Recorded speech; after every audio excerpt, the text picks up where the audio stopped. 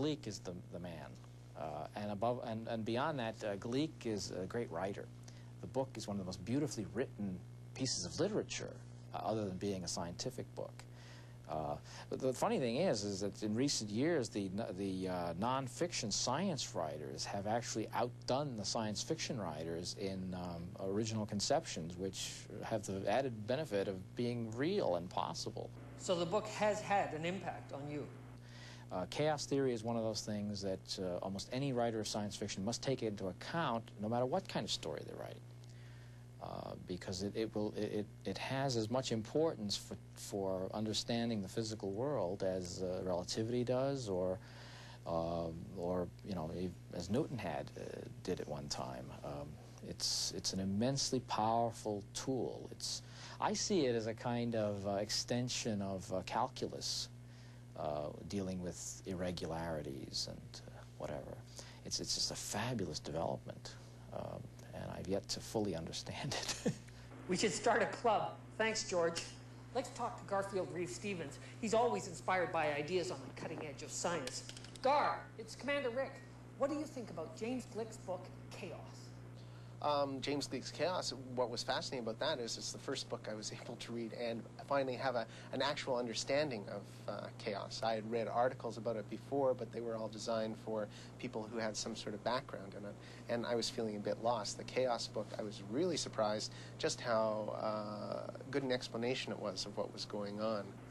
I've got to get my copy of that book out of the trunk. Gar, you've read the book. Are you going to use chaos theory in a story?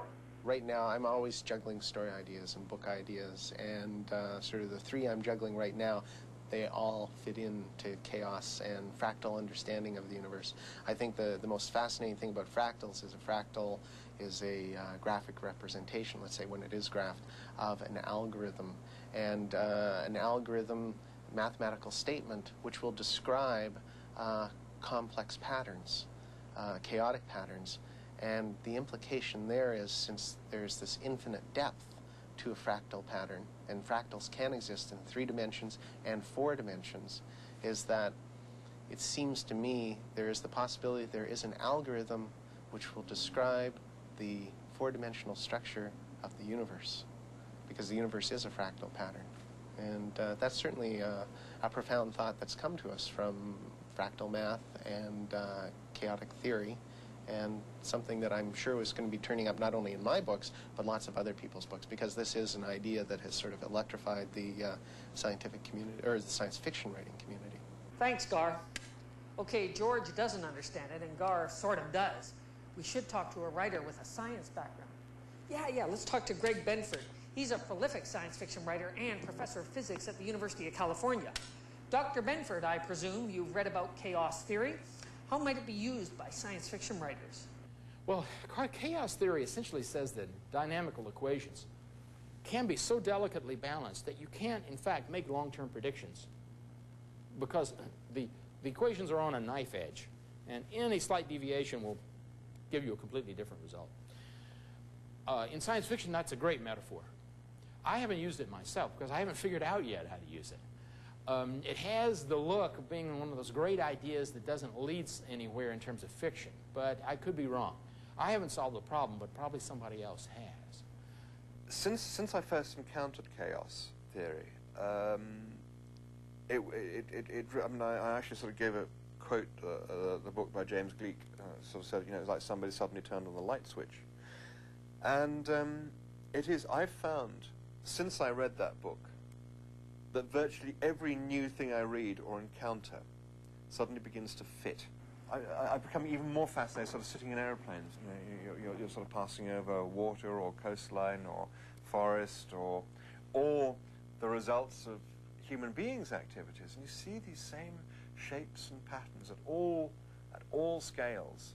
And um, the fact that you see them at, at the sort of scale looking down from 30,000 feet, and you see the same patterns, but at a different scale, looking down from 5,000 feet, as you do from looking down from 5 feet, or 6 foot 5, uh, um, in my case, uh, is, um, um, I mean, I actually get an almost sort of religious sense of awe about it,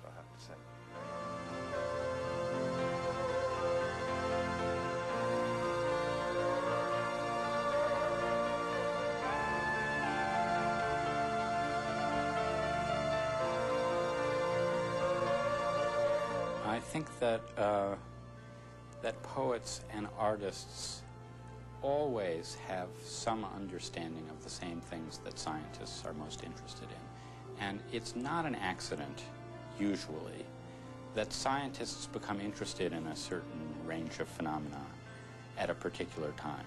Uh, in this case, I felt strongly that an appreciation of disorder, an appreciation of randomness, a sense that smooth shapes were not enough anymore, was something that, that wasn't unique to science, that it, it was, it was something that paralleled developments in the culture at large.